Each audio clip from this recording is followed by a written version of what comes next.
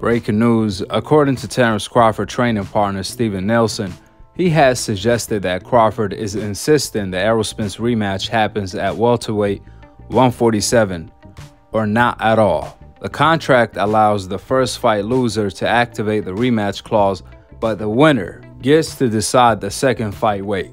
That being said, ESPN reported that Crawford is doing this in order to get more money out of Errol Spence in the rematch, which makes sense.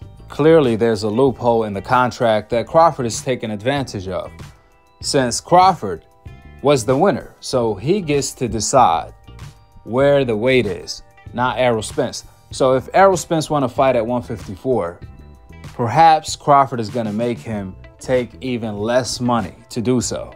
A lot of you guys have been upset about the news, flooding my comment section trying to get my opinion on it. And at the end of the day, business is business. This is a dirty game. Crawford learned the dirty business of boxing because they worked on him. So he had to learn it the hard way. Now, everything Crawford learned, he's using it on Errol Spence, which is going to come back in full circle when Crawford wants something PBC has, and that's the winner of Canelo versus Charlo.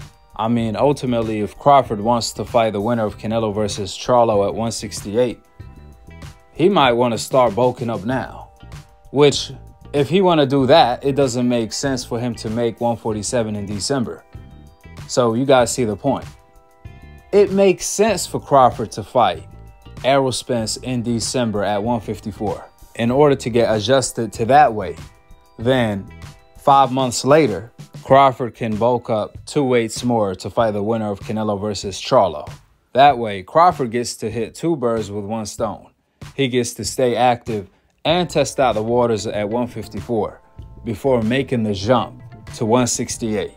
But to make 147 for the Errol Spence rematch in December just to come back and fight Canelo Alvarez or Charlo at 168 five months later, we're talking about Crawford have to move up three weight divisions. That will be a disaster and taxing on Crawford body. That's why I believe this is only a leverage move to get more money out of Errol Spence.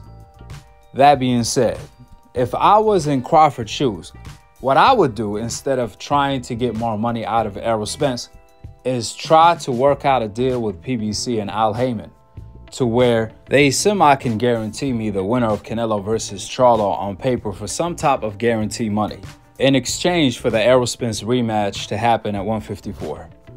I think that's the best way to go. That being said, go ahead and drop your thoughts in the comment section below. Subscribe below, and to be continued on the next episode of Akhi TV. Peace out. Wa alaikum assalam wa rahmatullahi wa barakatuh.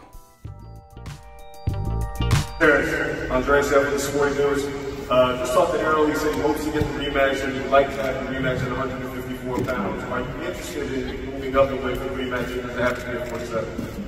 Definitely don't have to be at 47. Like I said, you know, uh, I'm I'm in a hurt business. 47 was kind of hard for me too. I was already talking about moving up in weight and challenging Charlo. So 54 wouldn't be outreach of anything. Uh, Terence, Keith Idec from BoxingScene.com. Congratulations on a great performance. Was it even easier than you expected it to be once you were in there? Never. Like I said, we trained so hard in training camp that it made it look easy in the ring, but these fights is never easy. These fights is very extremely hard because we put our body through the most in training camp. And I worked my ass off to get to where I'm at today to perform in front of each and every one of y'all. I even did things that was different this fight. You know, we did a pre-camp came out to Vegas, stayed for a month, you know, so I've been working for a long time for just, for just this one moment, so it's never easy. At which point in the fight did you realize that he wasn't going to be able to do anything with you tonight? Well, the first round, I, I felt as if I had the speed and uh, power. I felt, you know, uh, his power, and I felt as if I was the stronger fighter. Yeah, that's that pretty much it.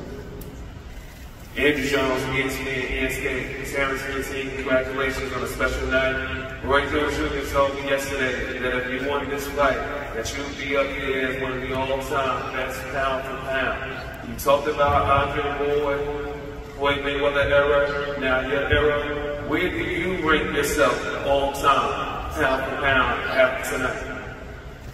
Well, I'm up there. You know what I mean? Like, I always want to pay homage to the fighters that came before me. You know, because without them, you know, wherever, wherever they want to you know, I'm up there. Ain't my, my job to put me where I want to be. It's your job to put me where I belong. And who came up with the visionary idea to walk out